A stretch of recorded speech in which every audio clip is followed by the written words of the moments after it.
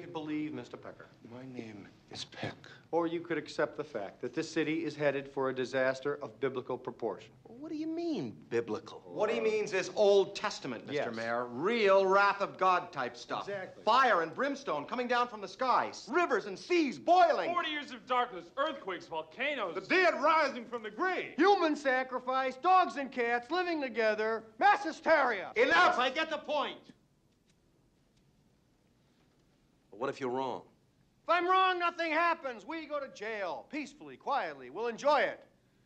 But if I'm right, and we can stop this thing, Lenny, you will have saved the lives of millions of registered voters.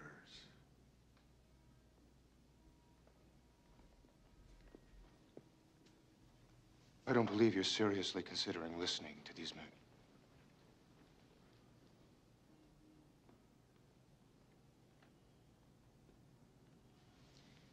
Get him out of here. Bye. I'll fix you, Venkman. I'm gonna fix you. I'm gonna get you a nice fruit basket. I'm gonna miss him. All right. We got work to do. Now, what do you need from me?